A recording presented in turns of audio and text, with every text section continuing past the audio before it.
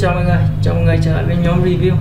Hôm nay nhóm xin uh, giới thiệu uh, giới thiệu và hướng dẫn uh, cách sử dụng mạch nạp 89 AVR thì uh, trên tay mình đây là mạch nạp 89 AVR thì uh, mạch này sử dụng nạp cho các dòng chip uh, 89S và AVR uh, thì uh, dòng uh, 8 dòng vi điều khiển 8051 nó hỗ trợ các cái loại này. 89 S51 89 S52 và các dòng AVR như Atini ờ, uh, Atemiga đây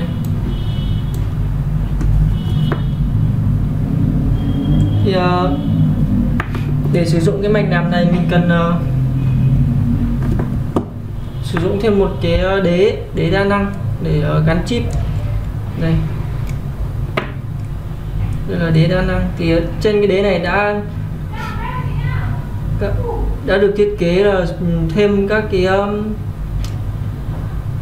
phối dao động để uh, nạp cho các loại chip là để cái loại chip uh, 28 chân và loại chip 40 chân. Cầu nạp này. trước tiên để sử dụng uh, mạch nạp này mình cần uh, mình cần tải phần mềm. Thì đây ở đây có link tải phần mềm này. Bạn ấn vào đây. Tải về.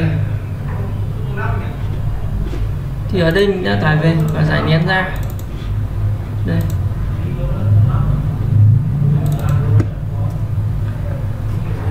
Đầu tiên thì uh, cái mạch nạp này hỗ trợ từ Win XB, Win 7, Win ờ, 8 và Win 10 cũng hỗ trợ thì đầu tiên là mình sẽ cắm chip. Thì uh, thứ tự của chân chip sẽ tính từ cái ờ, cần gạt này là chân một này.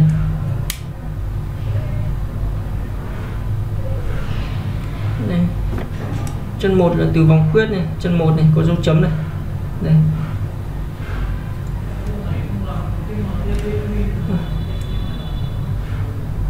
thì đối với loại uh, bit uh, 40 thì mình sẽ cắm như này.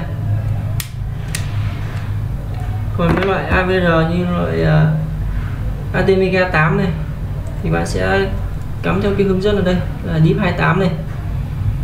DIP 28 này. và cũng chân một là sẽ bắt đầu từ đây. Trên uh, mạch đã um, ký hiệu rồi. Đó. Thì bây giờ mình sẽ làm thử con uh, 89 này. Đây cắm vào này.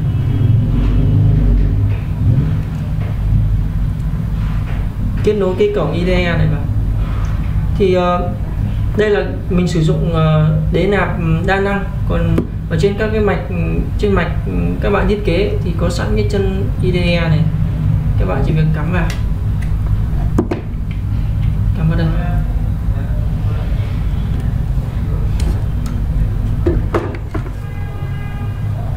Vào này.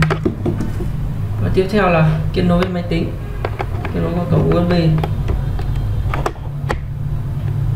Rồi.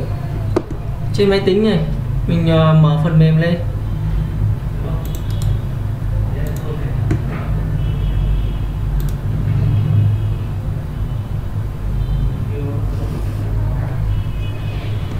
Đầu tiên là để uh, kiểm tra xem mà đã nhận mạch nạp hay chưa.